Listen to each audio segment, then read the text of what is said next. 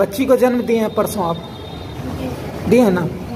आज परीक्षा देने आए हैं। क्यों? साल भर साल भर बर्बाद हो जाता है।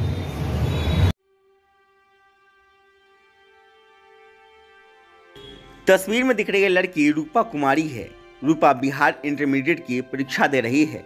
एक दिन पहले ही रूपा माँ बनी है। माँ बनने के दूसरे दिन ही रूपा परीक्षा देने पहुँच गई।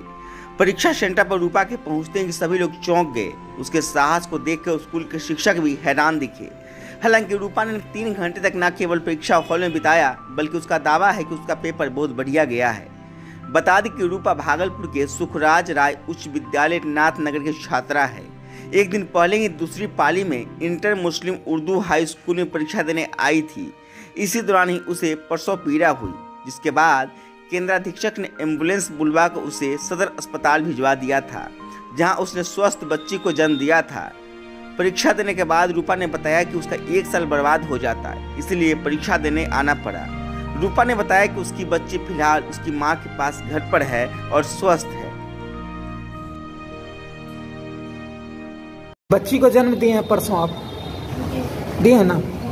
आज परीक्षा देने आए हैं? क्यों फिर आप साल भर के बाद फिर देना पड़ता साल भर बर्बाद हो जाता। है इसलिए आया हैं। कैसा रहा एग्ज़ाम? है बढ़िया रहा। कौन सा सब्जेक्ट था आज? हिस्ट्री था। बढ़िया लिखे हैं? ठीक। अब बच्ची? बच्ची को घर में छोड़ के आए हैं। माँ के पास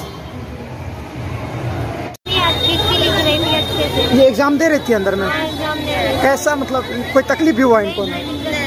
हाँ? ठीक से दे रही थी। ठीक से दे रही थी। ठीक। क्या नाम हुआ आपका? सर आज वो बच्ची रूपा कुमारी एग्ज़ाम देने फिर से पहुँची हुई थी आज। हाँ बहुत हम लोगों की है के लिए ऐसे कि खुशी वाला माहौल है।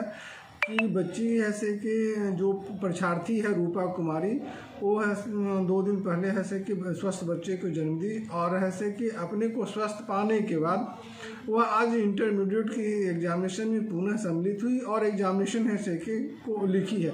इसके लिए है से कि अच्छी व्यवस्था कराने के लिए जिला प्रशासन भागलपुर एवं स्वास्थ्य विभाग भागलपुर को हम लोग है से कि शिक्षा विभाग की ओर से धन्यवाद ज्ञापित करते हैं।